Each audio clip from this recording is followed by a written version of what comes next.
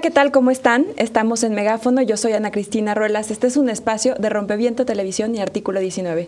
El día de hoy vamos a hablar de Trump y los medios. Y para eso están con nosotros Juan Carlos Altamirano, corresponsal de Univisión. Muchas gracias por estar aquí, Juan Carlos. Al contrario, gracias. Y eh, Alfredo Lecona, activista. Gracias por estar aquí, Alfredo. Muchas gracias, Diana. Pues las cosas no pintan bien para muchos, pero quisiera un poco entrar a cómo Trump se ve para los medios hoy que es un candidato electo. Ya no es una amenaza, puede ser ya un peligro. ¿Es así? Definitivamente el, presidente electo eh, Donald Trump eh, pasó de la amenaza eh, y de la burla, porque eso es lo que para, no solamente para, los, para algunos medios de comunicación, sino para mucha gente, no solamente en los Estados Unidos, también en, Latinoamérica, representaba a Donald Trump como una opción de poder. Eh, sí, sí, sí, era, una, era una, algo que se veía lejos, que podría llegar difícilmente. Conforme fueron avanzando las campañas, la realidad es que eso hay que reconocerle tanto a Donald Trump como a, su, a, su, a sus asesores, nunca bajaron la guardia. Eh, incluso después del tercer debate donde todos dábamos por muerto sí, a, a, al magnate, claro. al contrario, eh, él, él, no solamente se levantó, sino siguió en su, en su lucha con su, los argumentos que siempre había utilizado eh, en medios de comunicación, una, un mensaje nacionalista, un mensaje extremista y un mensaje completamente xenofóbico. Y eso le funcionó, entonces pasó de, de, de la burla del meme a ser una amenaza real y eh, hace una semana se convirtió en lo que ahora eh, eh, tenemos no solamente los mexicanos, sino muchos latinoamericanos y buena parte de los norteamericanos, por lo que estamos viendo en los medios de comunicación, como su peor pesadilla. ¿Qué pasó? Ahora Trump llega y dice, eh, te voy a demandar al New York Times y a Washington Post por todo lo que dijeron. Estados Unidos hoy por hoy es uno de, las, de los países más libres en términos de libertad de expresión. ¿Qué significa esto para la libertad de expresión en Estados Unidos y en el mundo? Pues creo que es un golpe en, en la cara eh, y no debemos de concentrarlo todo en la figura de, de, Donald Trump. O sea, es algo que se ha construido por, por, por años, que sí amenaza la, la libertad de, de, expresión, el derecho a la, a la, información, la libertad de prensa, y es un fenómeno eh, pues muy particular que hay que observar, Decía eh, eh, John Oliver en el último programa que, que tuvo en eh, este que se transmite en HBO, que es, es, una genialidad, que el 38% de lo que Trump divulgaba en, Facebook, bueno, que el Partido Republicano divulgaba en, en, Facebook era información falsa, ¿no? O sea, Trump se construyó a partir de, de un sistema de, de, comunicación que le permitió mentir descaradamente, como es, insultar, eh, eh, generar odio, sembrar odio, y a partir de ese sistema de, comunicación, donde él vio una, brecha de, entrada para, para, crecer su popularidad, eh, se enfrentó con una oposición de, los medios de comunicación, que ciertamente no lo querían, y que pues finalmente ese es el fenómeno que hay que ver, o sea, cómo el, sistema de comunicación en Estados Unidos y en todo el mundo nos puede dar un revés si no lo entendemos bien. Vienes de un medio internacional, de Univision, tiene su sede en Miami. ¿A qué se enfrentan los medios hoy en Estados Unidos en un contexto en el que, si bien es cierto que muchas fueron mentiras y probablemente muchas de esas no se cumplan o muchas de las promesas Ojalá. que hizo no se cumplan, esperemos, todos esperamos realmente eso. Eh, ¿qué es lo, ¿Cómo está viendo un medio internacional este peligro? Latente, eh, lo vemos ya a, a, la vuelta de la esquina, como eh, bien menciona Alfredo, eh, el sistema de comunicación que generó Donald Trump, eh, asesorado por este, este, sujeto que ahora ha, ha, ha, salido mucho más a la luz de la, del reflector público, se llama Steve Bannon, que tiene este, este portal que se llama Breitbart, uh -huh. que, que, que, es un, un, portal de noticias eh, extremista, nacionalista, con un corte completa y absolutamente xenofóbico, pero que tiene un público cada vez más creciente, eso también hay que decirlo, uh -huh. porque bueno, la realidad es que, exacto, no es Donald Trump, no es Steve Bannon, sino hay un, hay un sector de la población en, Estados Unidos que, que, le gusta ese tipo de información y que la busca. eh, eh, investigué un poco sobre este, este medio. Empezó en 2007, Breitbart, y ha crecido bastante. Tiene una sede en Washington, tiene una sede en Texas, eh, tiene otra sede, me parece que en Los Ángeles, y está por abrir una, un, nuevo frente en París para ah, colaborar con el Frente Nacionalista de Le, Pen. para las elecciones de, de Entonces, quiero decir, esto es un sistema que, viene creciendo a nivel global, no es un fenómeno aislado, lo que sucede en el caso Donald Trump en Estados Unidos, también sucede en otros países y se, ha, venido incrementando. ¿Cómo lo, va, lo, lo ve Univision? Lo ve precisamente como eso, como una afrenta total. Univision marcó una línea editorial desde que Donald Trump ganó la, candidatura este, republicana pues para enfrentarlo, porque Univision está hecho, lo hace eh, la gente, los, los, hispanos que viven en Estados Unidos, no solamente los mexicanos. Si bien es cierto que el porcentaje de mexicanos que ve Univision es muy alto, rebasa el 70%.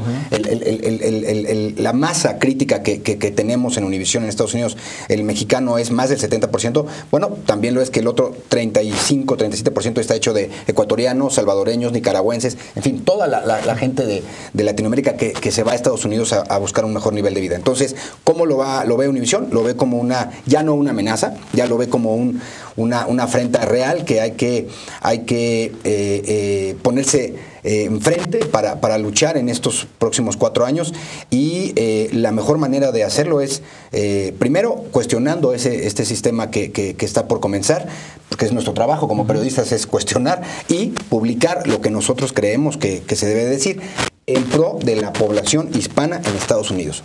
Muy importante aquí, esto es, es muy importante mencionarlo. Eh, haciendo la labor que muchas veces el gobierno mexicano no puede hacer o no quiere hacer o no lo sabe hacer, eso no lo sabemos. Por ejemplo, dar información a, los, a los migrantes para saber cuáles son sus derechos reales, qué es lo que pueden hacer en caso de, redadas de la, de, la, de, la, de la migra, como le llaman ellos, hablando en los términos reales que se utilizan allá. Entonces, esa es la manera en la que se va a enfrentar. ¿Fue falta de información el voto o fue un rechazo a lo existente, o sea, a, la promesa de los demócratas que no se cumple. Yo creo que, eso es una mezcla de, factores, pero definitivamente el discurso de Trump eh, aglutinó todos los antis, ¿no? Eh, ese, ese malestar que no, insisto, no es Trump es a la partidocracia de allá en sus propias dimensiones y en sus propios niveles, es a, la oligarquía que mantiene unos niveles de desigualdad eh, tremendos. ¿no? Es muy eh, llamativo eh, las encuestas que se hacen ahora en estos días post-Trump o en la cruda de Trump, cuando se habla de Bernie Sanders, por ejemplo, que también tenía un discurso antisistema pero, de otro, lado, digo, con, otro tipo de, de, de, Justo eso, ¿se hubiera podido contrarrestar un discurso tan radical y tan de ultraderecha con un discurso no es de ultraizquierda, el de Bernie Sanders. No, personalmente creo que sí. Personalmente yo creo que hubiera sido una disputa que el mundo merecía eh, ver, ¿no? Vivir. Vivir. O sea, por el contrario, pues justo, y curioso, ¿no? Ahí también entra el tema de, medios, Hillary con todo lo que se, Hillary Clinton con todo lo que se descubrió de, estos acuerdos que tenían con la propia, eh, con algunos medios de comunicación para favorecer su candidatura y opacar la de Bernie Sanders, pues es que todo eso es lo que está, lo que explotó en la, en la cara de, los demócratas, de los estadounidenses y del, y del mundo entero. Eh, nosotros estamos acostumbrados quizás en México a, tener una línea editorial clara en los medios masivos de comunicación. Aquí se disfraza disfraza la información. Eh, eh, más bien se disfraza la propaganda o, las agendas eh, que, realmente se acuerdan en las cúpulas como información. Y allá en Estados Unidos, como, bien dice Juan Carlos, pues se marca la, línea, editorial. Digo, hace toda la lógica que Univisión defienda a, los hispanos porque esos son de, entrada y no está mal. Hay una pluralidad de medios. eso me lleva a una pregunta. ¿Hubo medios o sea, hay medios que siempre han sido republicanos. Claro. Eh, pero hubo incluso medios republicanos que decidieron deslindarse de las palabras de Trump. tengo clara la película. Y ahora mencionas un medio que es muy radical y que eh, se fue hacia el discurso xenofóbico como ya se nos está acabando el tiempo de este primer segmento, vamos a ir a un corte y ahorita regresamos sobre eso porque me parece muy importante el papel de los medios en la divulgación de un, discurso de odio. Ahora regresamos, no se vayan.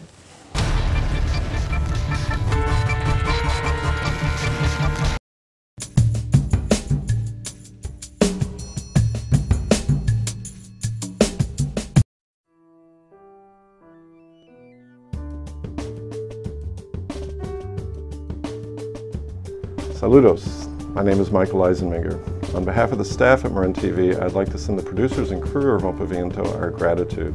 We are very excited for the opportunity to be your coyote and to help bring your programming across the border to our television viewers here in the Bay Area. As you know, we live in the other Mexico, a place they call California.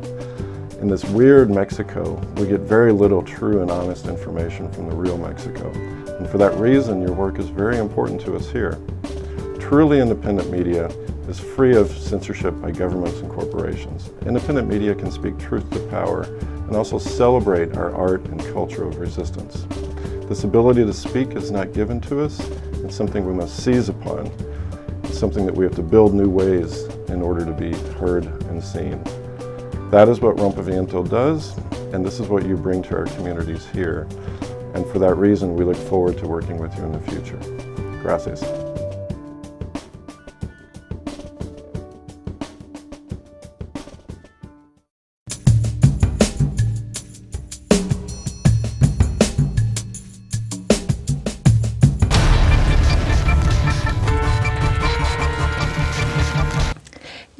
Continuar con nosotros. Estamos en Megáfono y estamos hablando de Trump y los medios. Y están con nosotros Juan Carlos Altamirano de Univisión y Alfredo Lecona, activista. Cuéntanos, ¿cuál es el papel de los medios en un discurso xenófobo? Fobo, xen- ya ni siquiera lo puedo decir, Sí, es que es terrible, en un discurso de odio. No, es que realmente hemos vivido en un tiempo tan complejo en los últimos 50 años, 60 años, en el que se ha hablado de libertades, de igualdad, de sociabilidad, de contratos sociales, de etcétera, y estamos rompiendo todo.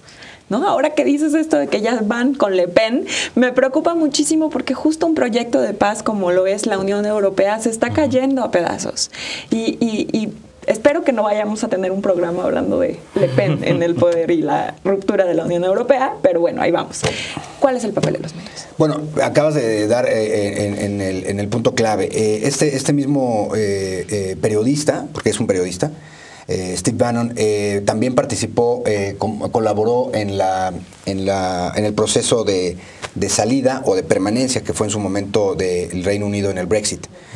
Colaboró, obvio, para, para convencer a la gente de que lo mejor era separarse de, la, de la Unión Europea. Entonces, eh, el papel de los medios es fundamental. eh, lo estamos comentando, lo que hizo eh, eh, Breitbart en, en Estados Unidos, lo que, lo que logró en el proceso del Brexit. Y bueno, nos podemos ir a la historia simplemente y yo creo que uno de los, de los argumentos más exitosos que tuvo am, Adolfo Hitler en su eh, eh, eh, trabajo en, en- en lo que logró para, para unificar Alemania en contra del mundo entero, eh, y obviamente su discurso antisemita, fue precisamente gracias a los medios de comunicación, porque los tenía perfectamente bien controlados, pero además tenía un discurso que convencía a la gente de que ellos eran el nuevo pueblo, pueblo elegido y que estaban destinados a gobernar el planeta. ¿Qué quiero decir con esto? Bueno, nada más hay que eh, aventarse un clavado a, a- a googlear o a los que todavía eh, nos guste por ahí meternos a un- alguno que otro libro para darnos cuenta de la importancia que tiene un medio de comunicación para convencer a la gente de tal o cual idea. Y aquí sí me gustaría retomar brevemente eh, lo que comentábamos sobre Bernie Sanders. Eh, tuve la oportunidad de entrevistar a Rosero Marín hace siete meses. Eh, esta, esta señora que fue secretaria del Tesoro en, el, en, el, en el periodo de, de George Walker Bush, eh, republicana, pero cuando yo Anti-Trump. es completamente anti-Trump y me dijo, eh, no podemos permitir que este sujeto, y él- él- ella, él le dice, ella le dice el innombrable, el, el- el de allá, este, El innombrable de el de allá, y, y- y me dijo, no podemos permitir esto, pero sí me, sí me, me, me argumentó en, ese, en esos días, hace ya seis, siete meses, que el mejor contrincante para Donald Trump debió haber sido Bernie Sanders, por el mismo discurso que estaba cargado hacia la extrema, claro, no una extrema izquierda, pero él sí proponía, por, por ejemplo, eh, que- extender el Obamacare a 40 millones de personas. progresista. Exactamente, es un Discurso sistema progresista. Al final, aquí en México tenemos, tú ya lo mencionaste, eh, medios que viven o están, eh, todo el sistema económico de los medios en México es in- incentivado por el gobierno. Eh, muchos medios morirían sin el dinero público. ¿Qué es lo que necesitamos ver de la elección de Donald Trump en miras de la elección 2018? en México, tomando en cuenta que Colombia ya votó por un no a la paz, que eh, Londres eh, quedó porque sí, digo, porque no al Brexit, pero todo el resto de, la Gran Bretaña decidieron que no, que es la salida del Brexit. Entonces, eh, ¿qué es lo que nos espera? ¿Qué tendríamos, por qué tendríamos que luchar aquí en México para que las cosas cambien en 2018? Voy a empezar por la conclusión. Creo que defender Internet, más que nunca, más que en cualquier momento, defender Internet. Porque la amenaza, las amenazas contra Internet, que son latentes en todo momento en este país, que lo hemos visto con intentos de, leyes de censura en todo momento, eh, con excesos, con hierros en la ley de telecomunicaciones que, que ahora está vigente, que discriminó a los medios de uso social, que discriminó a los medios públicos, que privilegió a los medios eh, comerciales eh, y que ahora se intentan adaptar a esa realidad. O sea, finalmente los grandes medios de comunicación, los medios comerciales, mantuvieron muchos de sus privilegios gracias a ese poder que han encumbrado por más de 60 años eh, eh, y que marcaban agendas y que siempre terminaban ellos beneficiados para que sus negocios no se eh, vieran vulnerados, ¿no? Creo que hoy ante la crisis de credibilidad que tiene el gobierno mexicano, que tiene el, propio Estado, han roto de cierta forma o han tratado de romper de cierta forma con el gobierno, han tratado de marcar esa distancia, pero porque está 2018 también enfrente. Los medios de comunicación últimamente se han adaptado, incluido la tercera cadena, sus contenidos a, transmitirlos en Facebook, a divulgarlos por la multiplataforma, ¿no? Porque ya no es negocio la televisión, ya no es el poder político. Yo tengo aquí una duda. A ver, defendiendo Internet, tiendes más información, ciertamente, información plural, pero no, no estamos diciendo justo que la gente que votó por Trump no es porque no tuviera información. Sabía que era un discurso de odio. La gente sabía que era un discurso que iba en contra de todas las ideas de equidad y sociabilidad del mundo ¿no? que se han construido en los últimos años. Y sin embargo votaron por él. Entonces, la gente en Estados Unidos tiene acceso a Internet ilimitado. ¿Es realmente eh, lo que tendríamos que estar viendo? Sí, porque eh, justo eh, es, es, donde digo que puede haber la, la trampa. Porque si bien es cierto que, la figura de, Donald Trump y la popularidad de Donald Trump eh, se debe en gran medida a, Internet, él lo dijo abiertamente, ¿no? Él mismo se burla de, ese sistema cuando en algún momento declaró que eh, él solamente toma información de Internet y que no la verifica. Cuando hablaba de, barbaridades y daba cifras y, daba, y decía estupideces eh, monumentales, él decía, pero es que es, Internet, ¿no? Y, las mentiras que él divulgaba tenían impactos por millones en, en Facebook, en Twitter, etcétera. Pero justo digo que, que, por eso hay que concentrarnos en Internet, porque la amenaza ante, ante, ante eso, ante, algunos medios que, van a identificar justamente el discurso de, Donald Trump, eh, cómo, el discurso de Donald Trump se, difundió a través de Internet, van a intentar, obviamente, eh, eh, echarle la culpa a, Internet, diciendo que, bueno, pues entonces es cosa de, del diablo que permite llevar estas cosas. Pero si, nos, no, nos, si vemos eso, también hay que observar que mismo Trump ha tenido también cosas en contra de, Internet, ha planteado cosas en contra de Internet, como cerrar eh, eh, los accesos o, moderar Internet para, combatir a, a ISIS. Y entonces lo que pasó, lo que está pasando realmente es que él va a llegar a ponerse un traje a la medida que le construyeron, que no construyó él, que construyó Obama, que construyeron administraciones anteriores, donde, donde como reveló Snowden en, su momento, eh, hay un sistema de vigilancia masiva y que amenaza justo con con coartar libertades y, demás. Entonces, por eso digo que, hay que concentrarnos y que hay que defenderlo en su, en su justa medida eh, y, no, y no criminalizarlo o satanizarlo diciendo que ese es el medio que, llevó a, una figura como Trump al poder. Juan Carlos, la misma pregunta, pero añadido una cosa que acaba de mencionar Alfredo. Wikileaks apoyó la campaña de Trump. ¿Tú crees que haya impactado de alguna manera todo el trabajo que que se hizo, que se divulgó de, las, de los cables de Hillary, eh, haya impactado de alguna manera en la votación? Mm, no, estoy seguro que haya eh, impactado.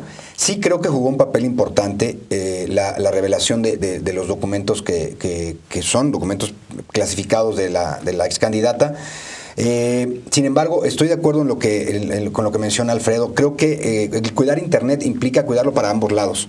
O sea, implica cuidarlo para los que no estamos de acuerdo con políticas como las que seguramente implementará Donald Trump, como para los que eh, están de acuerdo con esas políticas. O sea, ellos también deben pensar lo mismo que nosotros estamos diciendo. Entonces, creo que el, el- el- el conservar la libertad en Internet hasta donde nos sea posible, en este caso en particular en nuestro país, es muy importante, donde el sistema de comunicación del mainstream está, está perfectamente bien articulado, de manera que las cadenas de televisión eh, en, México están no solamente alineadas, sino están eh, perfectamente conectadas con el sistema de comunicación que el gobierno, que el gobierno requiere y lo que quiere informar y cuando lo quiere informar.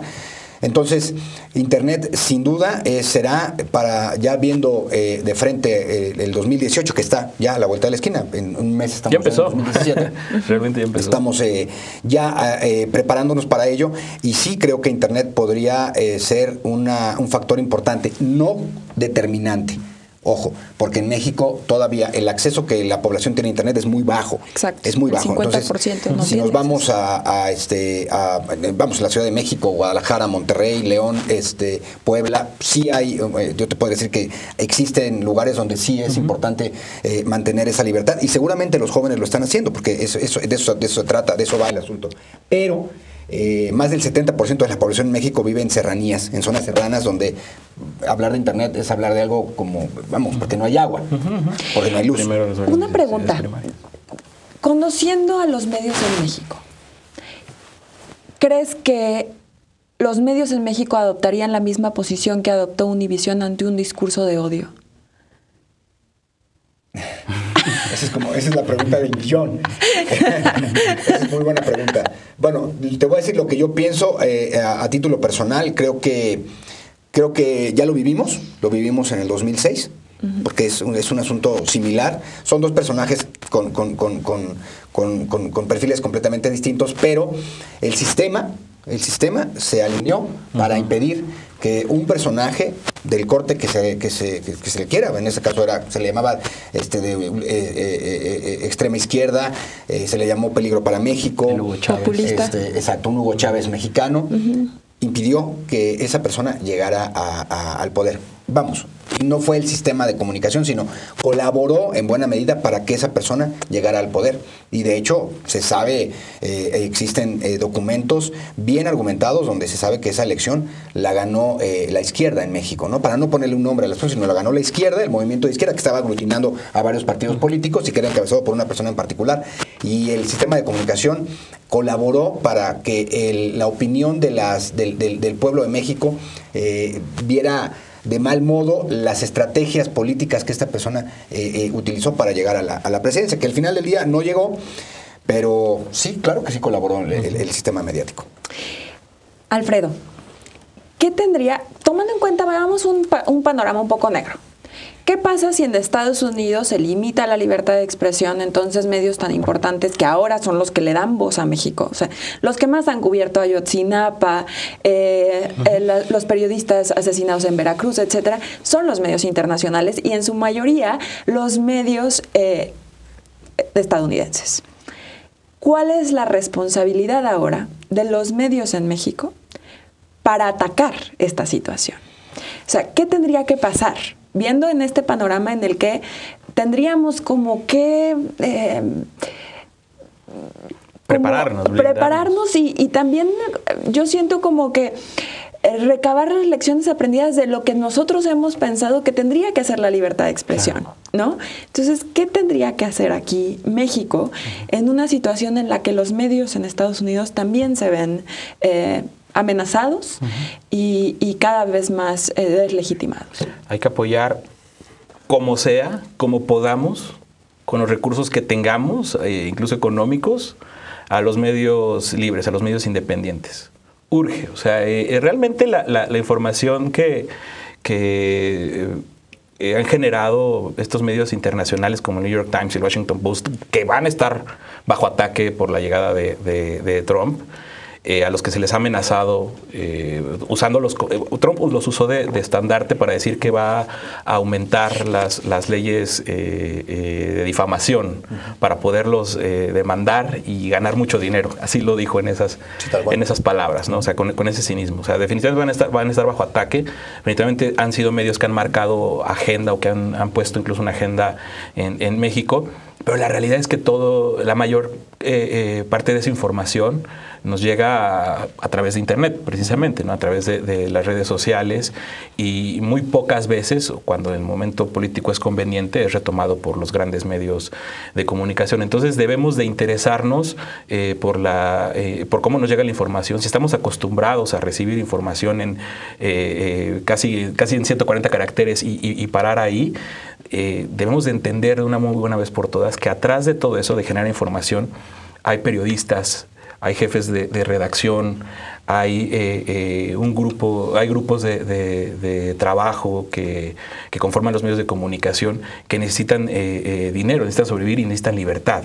Entonces debemos de entender, de, responsabilizarnos por exigir una regulación que no mantenga estas limitantes a la libertad de expresión como la publicidad oficial y todos esos hierros y excesos que hay en contra de los medios libres y también preocuparnos por defenderlos apoyándolos eh, eh, económicamente quienes se dejan, ¿no? Nada más, como muestra, tenemos el trabajo que hizo Animal Político en, en el caso de corrupción más comentado de, de- del año, ¿no? Que es eh, Javier, Duarte. Una reflexión de un minuto, porque ya vamos a cerrar eh, tristemente, pero una reflexión. Eh, en el caso de Univisión, eh, seguir haciendo nuestro trabajo, lo que sabemos hacer. En, en mi caso personal como periodista, seguir cuestionando, haciendo preguntas al poder, a los poderosos, eh, a los que detentan el poder y comunicando y publicando para la gente que nos ve, en este caso para los hispanos que, que viven en Estados Unidos, que buscan un mejor nivel de vida allá y se las ven tan duras, y ahora seguramente se lo verán peor. Entonces, desde nuestra palestra es eh, seguir cuestionando y, y siempre, eso sí, muy al estilo de la prensa norteamericana, no desgraciadamente de la prensa mexicana, no hablo por todos los periodistas, los, los colegas, pero sí, la mayoría alejados del poder. Nosotros sí estamos, y ahora será más todavía alejados del poder. Pues muchísimas gracias, Alfredo. Muchas gracias, Juan Carlos. Fue súper interesante. Ojalá y nos volvamos a ver pronto en estos espacios para ver cómo se está cubriendo el nuevo gobierno de Trump. Muchas gracias. Muchas gracias a Gracias. ustedes por estar aquí.